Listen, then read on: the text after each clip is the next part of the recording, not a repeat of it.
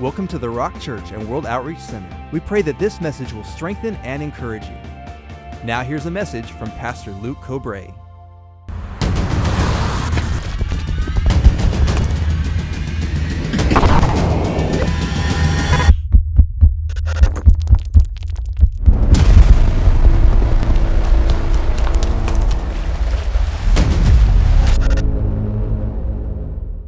Well, if you've got your Bibles, you can turn with me to the book of Hebrews in the 11th chapter. Hebrews in the 11th chapter, the title of the series that we're jumping into, and I'm so excited. I believe this is really just going to be such an amazing, such a dynamic series for what God has for each and every one of us. It's called The Pursuit of God. The Pursuit of God. And here we look in Hebrews, the 11th chapter. We're going to talk about that. But before we do, I thought I'd just tell you a fun little story that kind of helps out and helps us to understand a little bit about what we're talking about today. I was reading a story of a kindergarten class, and the teacher was, uh, had given the, the kindergartners in the class just a, a, little bit of instruction to have some free time drawing. It was drawing time, and they all sat around their table with their crayons and their paper, and they were drawing whatever they wanted to draw. And so one kid was drawing a giraffe, one was drawing a zebra, a little girl was drawing a rainbow, and a little boy was drawing a big skyscraper, and the teacher was walking around. She was looking over their shoulders to see what every one of them was drawing. And she came to this little girl, and she was so focused and so concentrated on what she was drawing. And the teacher couldn't quite figure out what it was. And so she asked this little girl, What are you drawing? And the little girl said, Well, I'm drawing a portrait of God. And the teacher, or the, the, teacher responded to the little girl, and she says, Well, how can you draw a picture of God when nobody knows what he looks like? And the little girl, she set her crayon down and she looked up to the teacher. And with the most serious intent in her eyes, she said, Well, We'll know in just a minute. And she picked up her crayon and kept on drawing.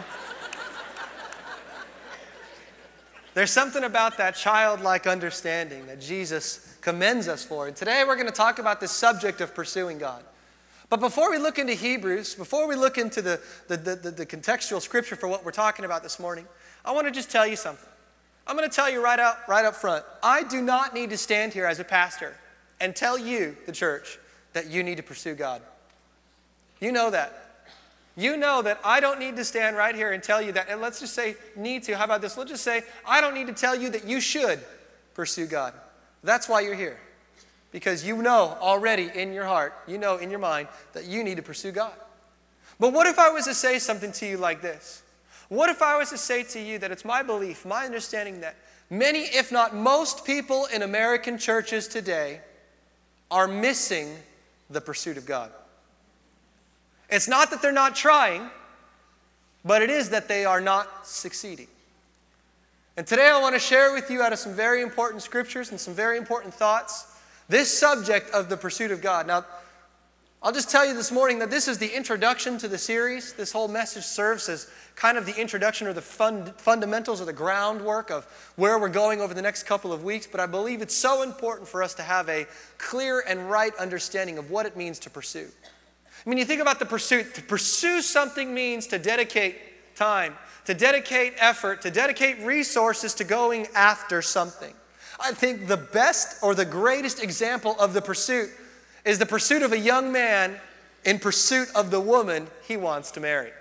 I mean, I can just tell you in my own life, my own experience, that that was uh, uh, one of the, the greatest pursuits of my life there was a young girl, I met her in, in, youth, in youth group on the, on the church bus to winter camp. She was dating a friend of mine.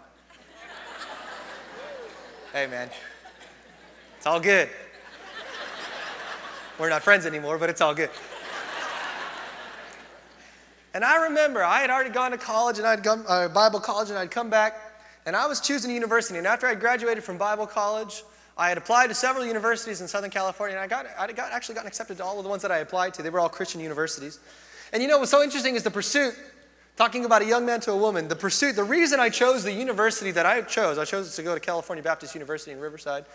The reason I chose to go to Cal Baptist wasn't because of the program, wasn't because of the teachers, wasn't because of uh, you know the, the major that they had. The reason I chose to go to college at that particular university was because that little blonde girl right there on the front row wanted to go there. And I said, you know what? I don't want no college age dude going after my girl, so I'm going to go to school with her. I was pursuing her. Praise God. I married that girl in university, and we are madly in love every day, growing every day. It's so good. So I think of the pursuit. I think the greatest example is that, you know, you think of a young man going after his, a Romeo going after his Juliet. There's no mountain that he wouldn't climb, there's no sea he wouldn't cross. And so when we talk about the subject of pursuing God, I want you to keep that in mind when we look at that. And let's go to Hebrews in the 11th chapter, verse number 6, probably one of the most famous, one of the most well known scriptures in the New Testament. One of the most well known scriptures amongst the church today is here, Hebrews, the 11th chapter, verse number six. And such an exciting, such a privilege that I am the one that gets to begin this series. It's so important and so real. And here it says, But without faith, it's impossible to please God. For he who comes to God must believe that he is, and that he is a rewarder of those who diligently seek him. You see, this message is all about pursuing. This verse is all about pursuing after God, coming to God, seeking after God, diligently seeking God and the belief thereof. And so I want to talk about this subject, but before we go any further, I want to just share with you to clarify and to begin to bring clarity to the statement that I said uh, earlier about many people missing the pursuit. It was about a decade ago, sometime right around this season. I had already graduated a Bible uh, college. I had a diploma in biblical studies from Rhema Bible Training Center in Tulsa, Oklahoma. You know, I had grown up through church, and now I was at California Baptist University, and I was taking the very basic, very uh, the Christianity 101 class that every freshman at university is required to take. The simplest of all classes. And I remember it was an aha moment for my life. You know what I mean by when I say an aha moment? It was one of those foundational moments. I can, I can remember it vividly today. A moment that changed my life that I knew that moment, I would never be the same. And here I was, this young student, sitting in a class, the basics of Christianity. The professor, he was an evangelical uh, pastor from San Diego. He just had such a heart for young people. He was, he was just so invested in him and I had, a, had connected on a certain level. It was just really neat. And I remember we were sitting in class and he made a statement one day that just so shocked me to the point where I was just so offended. I couldn't even hear. I couldn't listen. I couldn't focus. I couldn't understand anything else that he had said for the rest of the class when he had made the statement. I remember I looked over to my wife and she was like, I've never heard anything like it before either. And the statement so shocked me that after class I went right up to him and I just said, Man, I, I, I cannot grab a hold of what you're talking about. I don't understand it. I'm a little bit offended. I'm a little taken aback by what you have to say. You see, the statement that he made to that class that day that changed my life forever was this statement. He told us, God is a person. And I thought to myself, are you kidding me? The creator of the universe, the one who has no beginning, the one who has no end, the one that's not bound by time or gravity or any other the laws of physics that we know today. The one who sees all, who is all, who is everywhere all at once. The one who told Job, Where were you when I laid the foundations of the earth? The one who holds the very universe in his hand. You mean to tell me that God is a person? I was so taken aback by it, I couldn't even think, couldn't even think clearly. And so when I went to him after the class and I, and I sat there and we were debating and talking back and forth, uh, a young Bible college graduate, you know, a young studier of the Word of God growing up in church, he said something to me and he clarified that statement and he said, Luke, I did not say God is human. I said God is a person. I thought, what does that mean? What's the difference? And he says, here it is. A person is something that has a personality. All of a sudden, something changed on the inside of me. And I realized I was forced in my own life to recall my thought process and my opinions and my viewpoints of how I saw God up to that moment. And only then did I realize that I was missing something. It was that class combined with the book that he led me. The book is, uh, is coincidentally, I didn't, we're not preaching the message of the book, but the book is coincidentally called the same as the title of the series, The Pursuit of God. It was that class combined with that book that my life changed forever because my eyes were opened and I realized that I had been missing God in my life. Here's a young person, graduated from Bible college, from the pastoral studies division now in university, grown up in church, grew up in church as a leader in the youth ministry and the, in the band and all of these things. And I realized at that moment, at 22 years old, 10 years ago, that I was missing God. And all of a sudden, things began to happen in my life. Things began to open up. And I just wanted to read some things. I, I, had made some comments, and I try to avoid looking at my notes, but I don't want to botch these quotes. And so I thought I'd just show them to you and read a couple of them through the course of this as we talk about this pursuit of God. You see, the modern scientist has missed or lost God amongst the wonders of his world. But we, as Christians, are in danger of missing God amongst the wonders of His Word. We have almost forgotten that God is a person, and as such can be cultivated as any person can. It's inherent in personality to be able to know other personalities.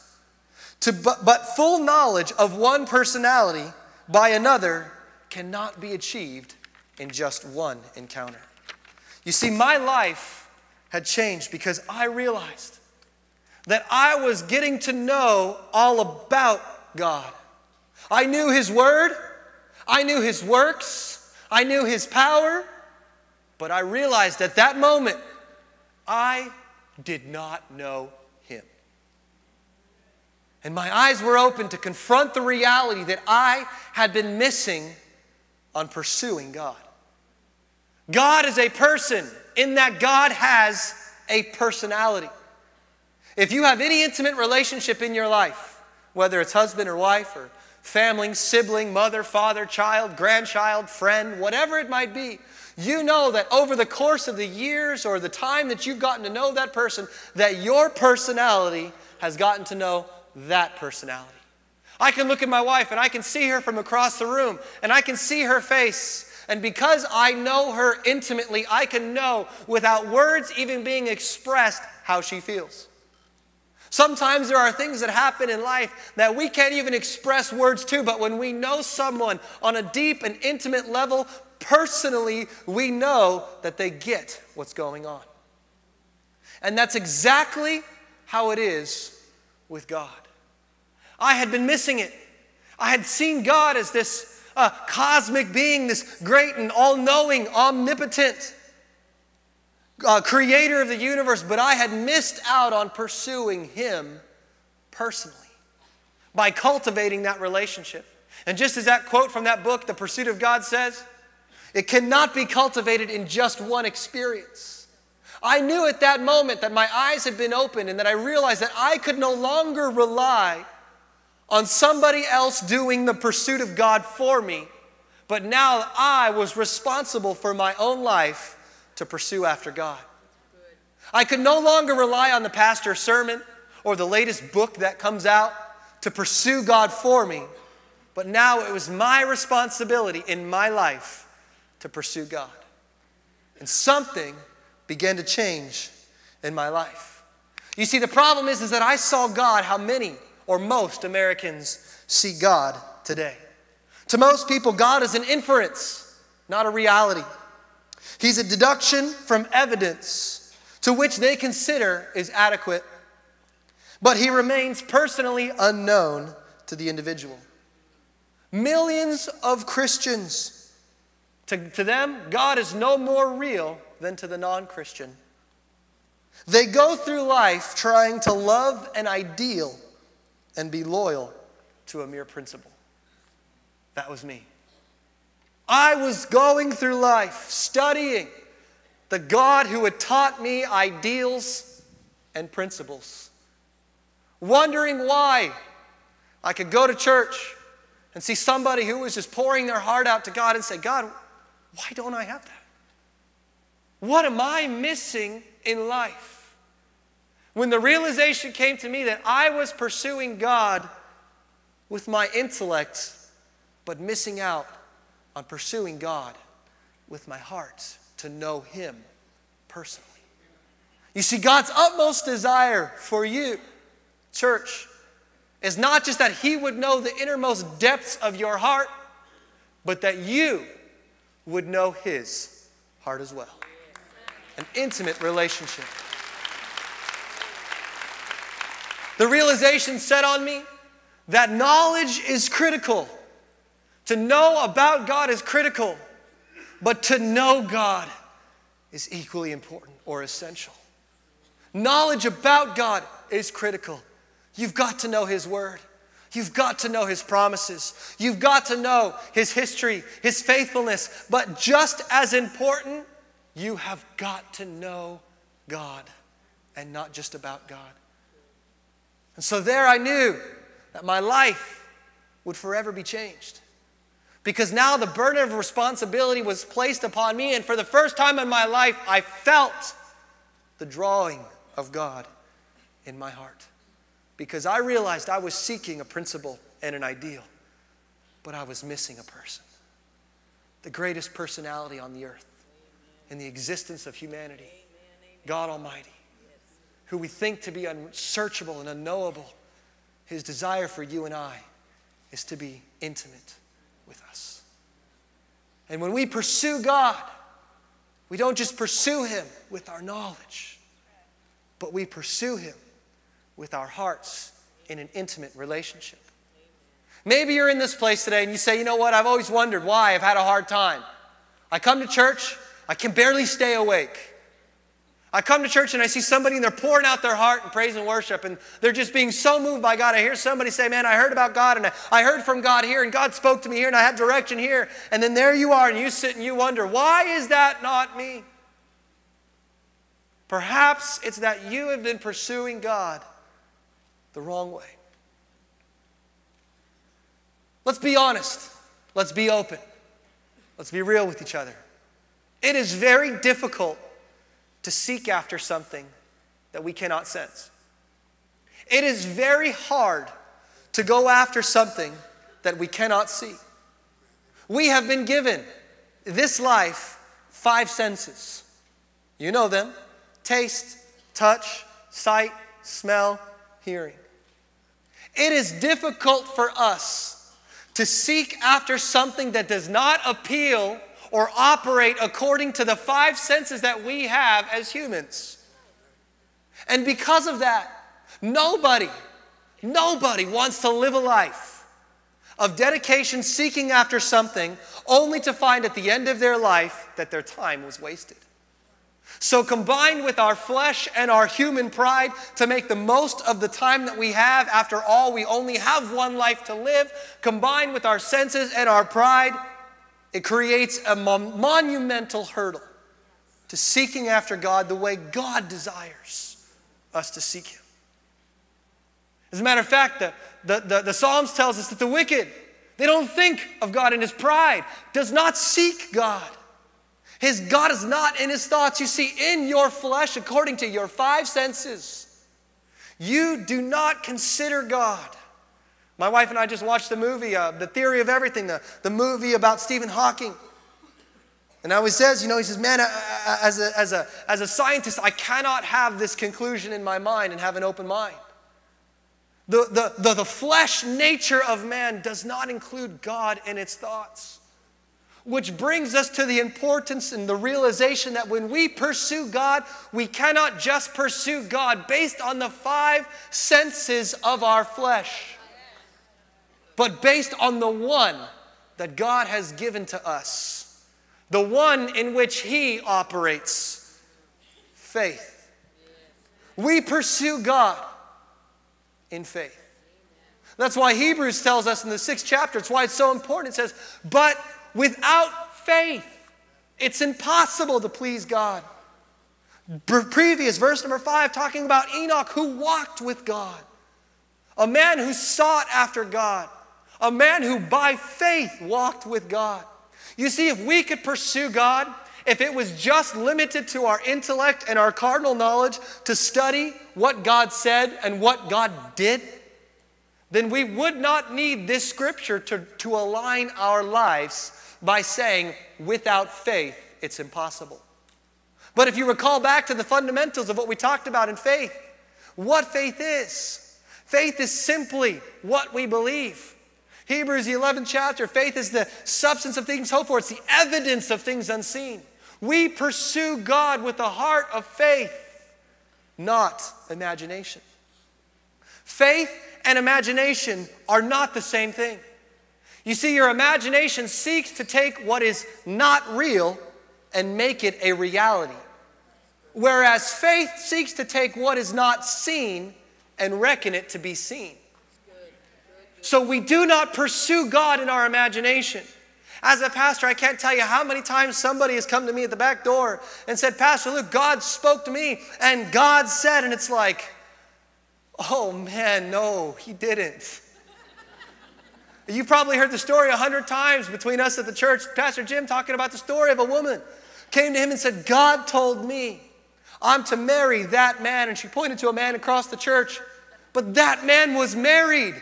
No, that's pursuing God in your imagination, conjuring up what is not real and trying to make it a reality. But you know, the truth of the matter is, God is real.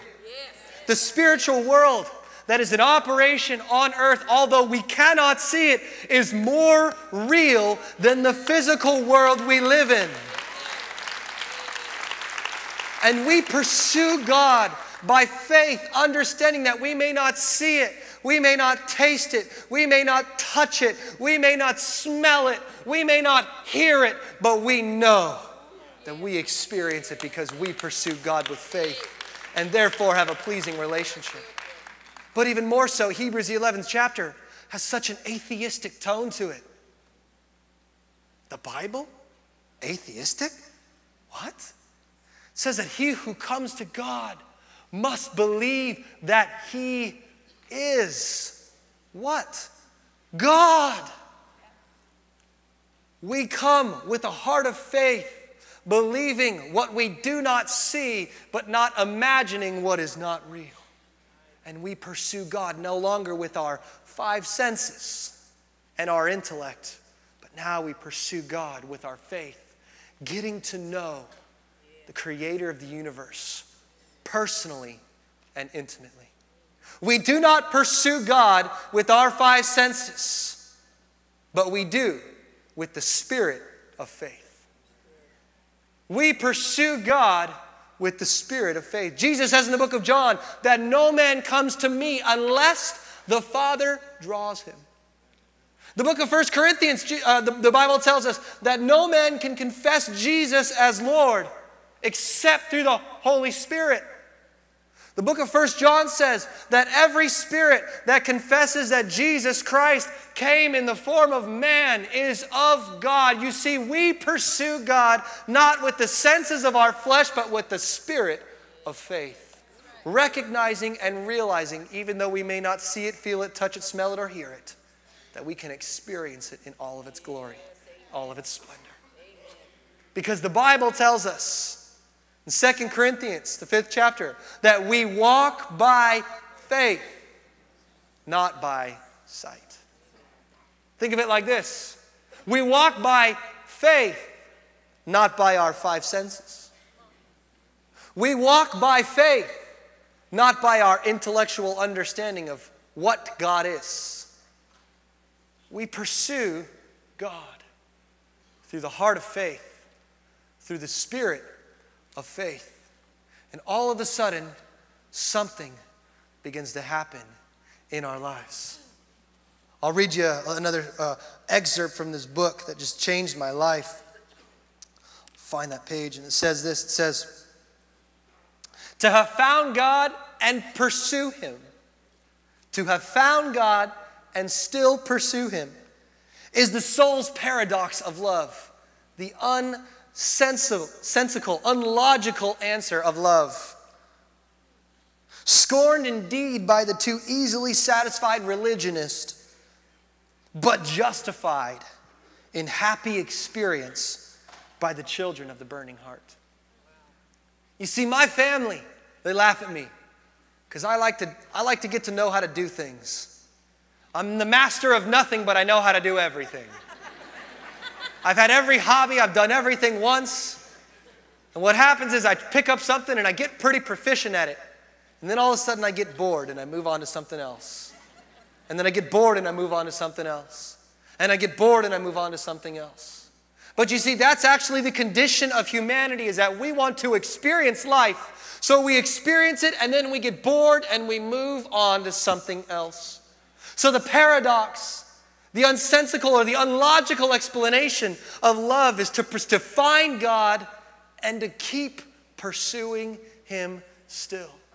Scorned by the too easily satisfied religionist that says, Hey, I found it. I know what the Word of God says. I understand the teachings of Jesus, and they're actually pretty good. But easily justified in the experience of the children of the burning heart. Those who say, I pursue God and every day I pursue God, I know Him more. And the more I know Him, the more I want to know Him. The more I want to know Him, the more I live my life for His purpose, for His will, for His call. And our life begins to change because we no longer seek God intellectually, because to seek God intellectually only is to miss Him completely. That is why there are so many people in this world who have PhDs in theology or in doctrine or in ministry who still yet succumb to moral failure or ethical dilemmas. Why? Because they have every concept about God and no idea of God. Church, it's so critical for us when we pursue God to pursue Him how He desires, to know Him personally not just an ideal or a principle. So today I told you, I don't need to tell you that you should pursue God. But what do we do?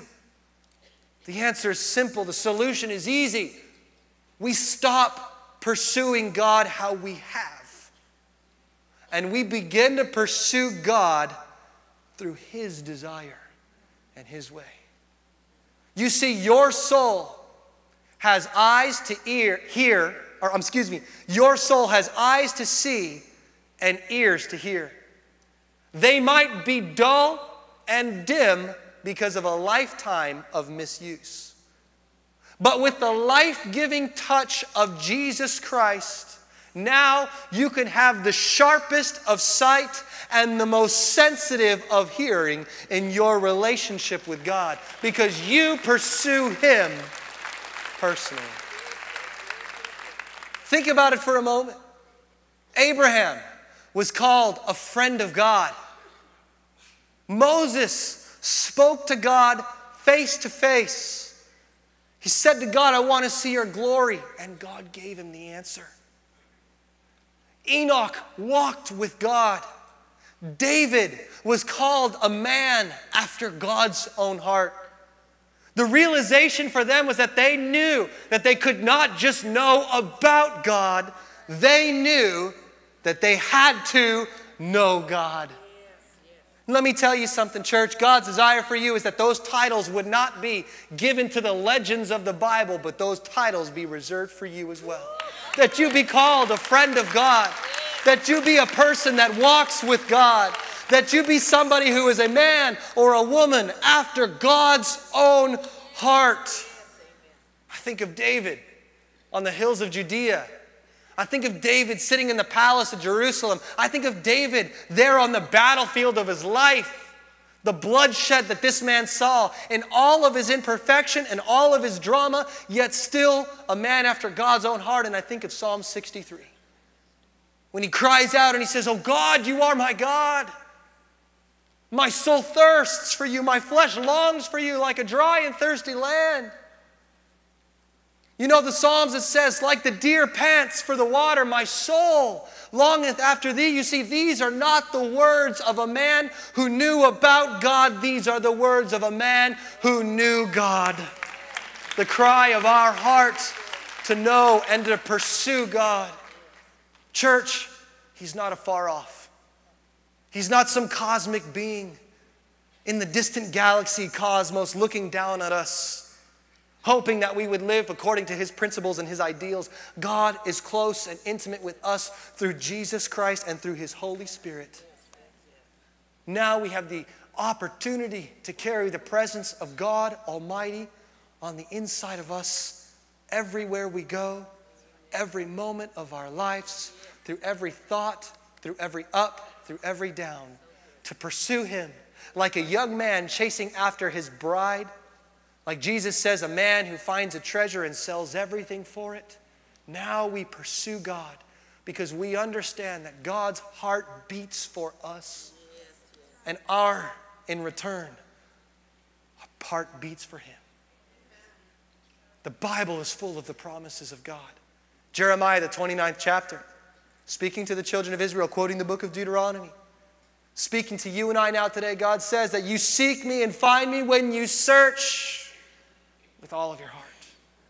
Proverbs chapter 8, God says, I love those who love me, and those who seek for me diligently will find me. David, the man after God's own heart, his final instructions to his own son Solomon.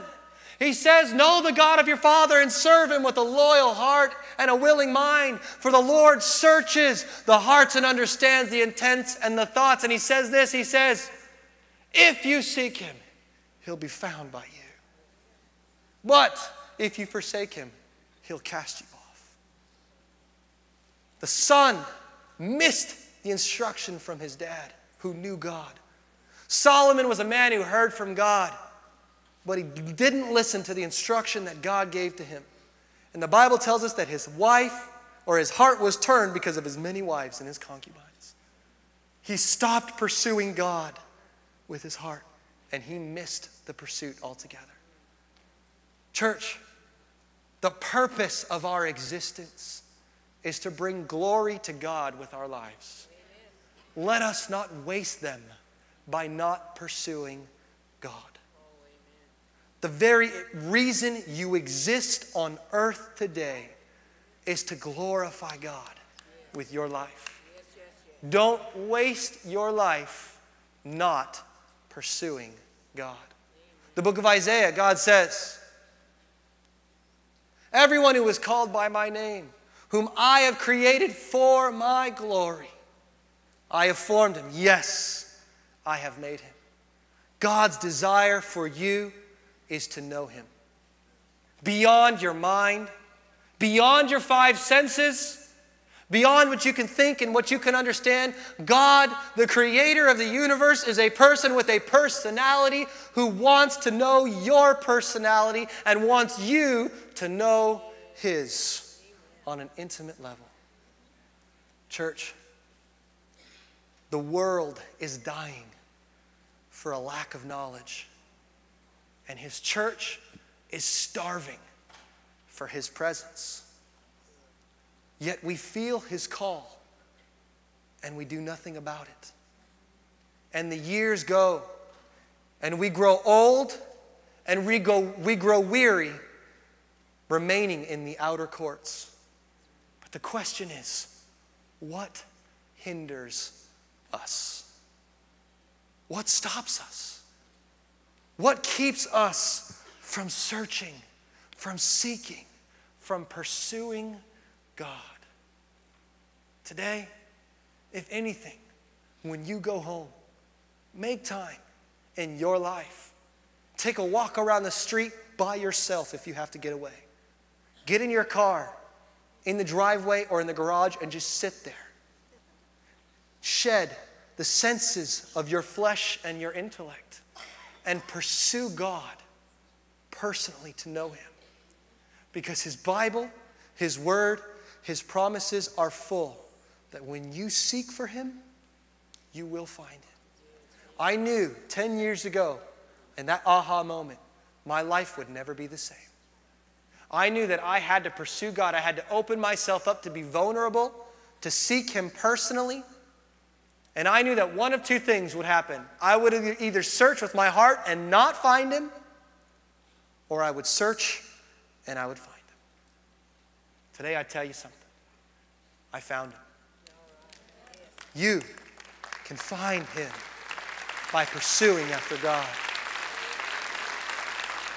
I want to ask you a very important question, and the answer of this question has a lot to say with your position and your place with God. The question is this, and I want you to answer it honestly. Don't beat around the bush. Be straight with yourself because nobody knows this answer except you. If you were to leave today and you were to die, would you go to heaven or would you go to hell? Simple question. Nobody will know that answer except you and God. But how you answer that question has so much to say with where you stand with God. Did you know that nowhere in the Bible does it say that you can hope, think, want, wish, or desire that you're going to go to heaven and that means that you'll get there?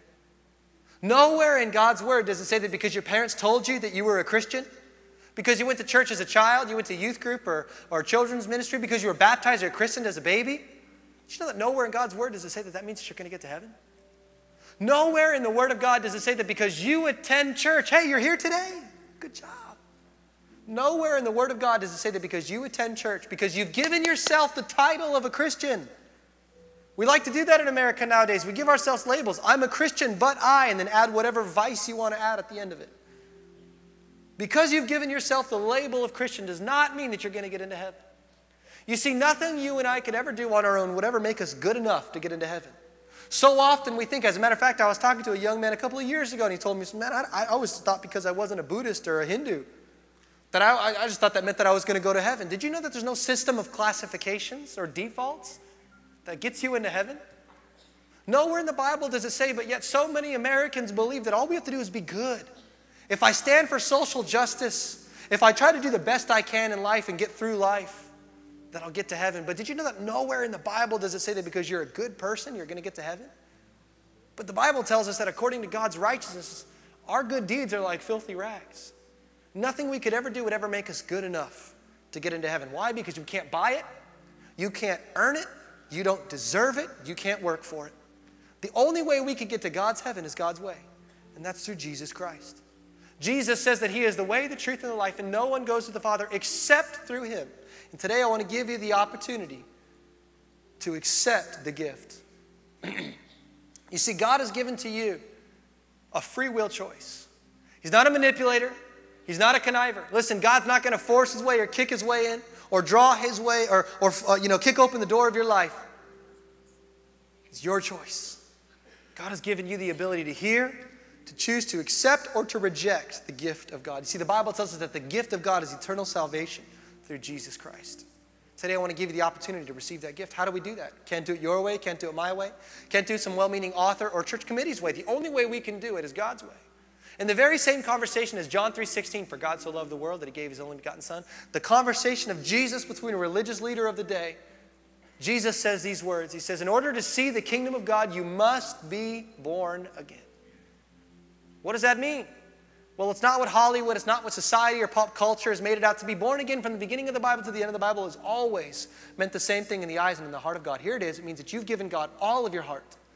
You've given God all of your life. It's an all or nothing relationship with God through his son, Jesus Christ. In the book of Revelation, Jesus is speaking to the church, people like you and I, in a final plea to them. And he says, You think that you're wealthy. You think that you've got it all together, but you don't realize how naked you are. And he says, I'm coming back. And his plea is to the churches. He says, When I come back, I hope that I'd find you hot or I'd rather find you cold. Because he says, If I find you lukewarm, I'll vomit you from my mouth. The final plea from the words of Jesus in the Bible are for you and I, the church of God, to say, don't rely on your own ability, but to rely on Christ. What does it mean to be lukewarm? Let's talk about that. It means that you've got your ups and your downs and your ins and your outs, occasional church attendance, doing some of your own thing, some of God's thing. You're not wholehearted for God, you're not wholehearted against God. Listen, you know any relationship that you've ever had on earth in your life, that if you were to go to that person on the other relationship and say, you know what, I want to give you the very least of my effort, you know that that relationship would never succeed. Yet we think that we can do that with God. One day a week, one day a month, one day a year. And think that that's all we need to be in right standing with God. When God said, I gave for you and for me my son Jesus to die on a cross for your sin and for my sin and shame so that we could be reunited with him in his presence and in his love. Jesus says these words He says that if you confess him before men, he will confess you before his Father. He says, but if you deny him, he will deny you. The decision's yours and yours to make alone. Here's what I'm going to do in just a moment. I'm going to give you the opportunity. I'm going to count to three. I'll go one, two, and then on the count of three, I'll go three. And I'll smack my hands together real loud, just like that. And when I do, I want to give you the opportunity to do something. I'm going to ask you to do something real bold. I'm going to ask you to pop your hand up. You see, what you're doing by the raising of your hand is you're saying, you know what, today I want to make that decision. I want to follow God. I want to give God my heart. I want to give God my life. You see, I'm a man. I'll see it. I'll acknowledge it. You can put it right back down. You say, man, if I, if I raise my hand, I don't know, I'm going to be embarrassed. The people I came with are going to see me. Everybody around me is going to see. I don't know if I can do that. Listen, let me tell you something. I'm not going to embarrass you. But let's be real. Let's be straight. Wouldn't it be better to spend a moment of embarrassment than an eternity in hell? Because you couldn't go forward in a warm and welcome and loving place like the church? Listen, if you can't go forward for God here, I guarantee outside of the walls of this building, you won't do it either. It starts by making that decision today. The choice is yours. And it's not even so much what happens when you die. That's so important. But you see, Jesus says, I have come to give you life and to give you abundant life. There is a void on the inside of you, and you know it, you feel it, you sense it all of your life, that can only be filled by God. Today is the day of your salvation. The Bible says that the goodness of God brings men to repentance. It's not me, it's not the person next to you, it's you and God right now, and He's speaking to you. And if that's you, in just a moment, I want to give you that opportunity. Who should raise your hands if you've never given Him your heart, you've never given Him your life? If that's you, get ready. Pop your hand up, I'll see it, I'll acknowledge it, and put it right back down. Who should raise their hands if you've been doing your own thing instead of God's thing? Maybe you're not sure you did this in a harvest crusade or a youth group or you prayed that prayer once before, but you've never really followed through. Listen, if that's you in this place today, get ready. Pop your hand up. I'll see it, I'll acknowledge it, and put it right back down. If you've been living lukewarm, doing your own thing instead of God's thing, been running from God instead of to God, listen, today, let's stop playing games. Let's stop messing around. God's desire, His intent is for you to pursue Him, and He is pursuing you right now. You can feel it in your heart. Today is the day of your salvation. Don't let another moment pass you by. Listen, whether you're in side to side, front to back, whether you're at home watching on the live stream or outside around the campus watching on the televisions or you hear the sound of my voice, today, this is your moment. This is your time. I can see you guys in the family rooms. If that's you, in just a moment, get ready. Hands are already going up. I see you. We'll do it all together in just a moment. If that's you, get ready. This is the day of your salvation. Don't wait another moment. Today is your day. I'm going to count to three wherever you're at.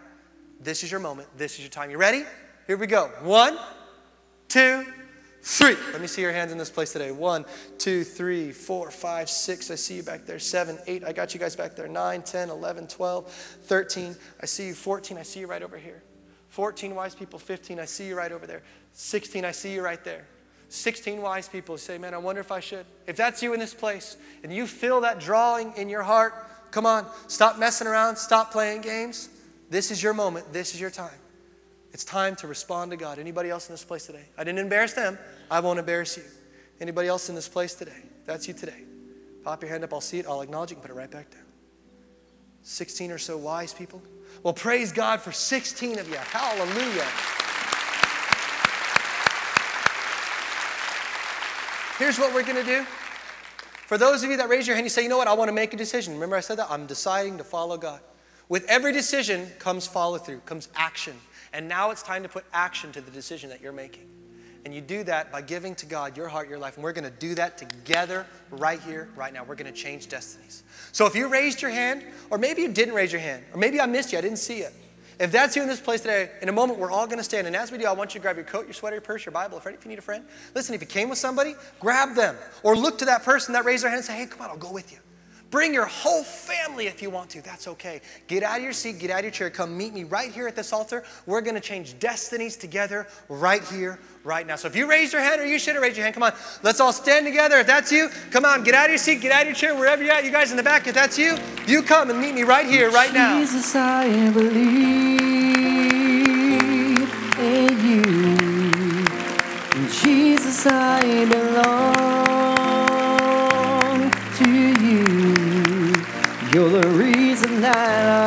That's you, you come. You're the reason that I breathe. Jesus, I Wherever you're at. believe in you. Jesus, I belong You come. to you. You're the reason that I live.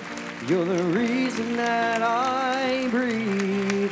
Jesus, I believe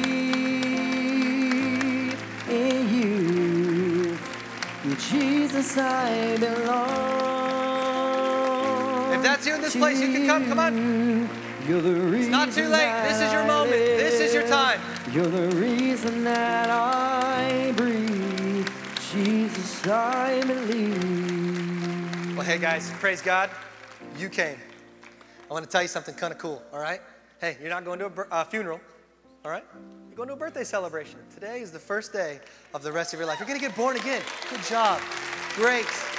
You're making a great decision. The very best you can make. It's really. Here's what I want to do. I want to introduce a friend of mine to you. See this guy right over here waving at you? His name's Pastor Joel.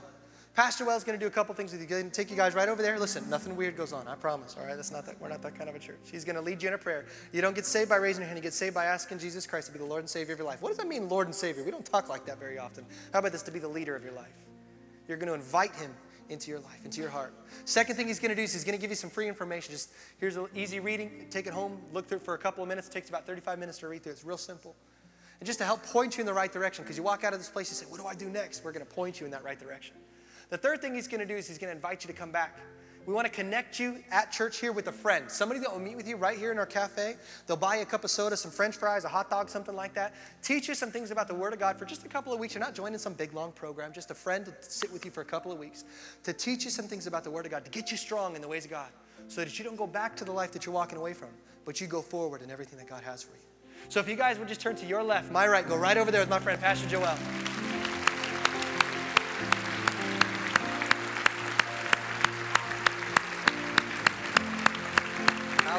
God is good. Hey, you just heard that altar call. You just wanted to give God all of your heart and all of your life. Now, let me lead you simply in a prayer of inviting Jesus Christ into your heart as your Lord and Savior. In fact, why don't you just go ahead and listen to me? And go ahead and close your eyes and just repeat these words after me. I'll go slow, you repeat them. Say these words Say, Father God, I come to you in the name of Jesus. I believe that Jesus Christ is your only begotten Son and that you sent him for me and that he died for me on that cross at Calvary. I believe that his blood washes away my sins, that I am now a new creature in Christ Jesus. And I thank you, Lord. I receive you now and forever as my Lord and as my Savior. I'm going to turn from sin and I'm going to turn with all of my heart and all of my life to you, Jesus, as my Lord and as my Savior. Let it be known in heaven as well as upon the earth that I am born again. I'm a child of God, that I'm saved, and I'm headed for heaven and denying my presence in hell. Thank you, Jesus. I'm alive forevermore. Love you so much. God bless you guys. Everybody just say amen and receive Christ as your Lord and Savior. So talk to you later. God bless you. Thank you for listening to the Rock Church and World Outreach Center. If this message spoke to you, please share it with us. We'd love to hear from you. You can find more information at www.rockchurch.com.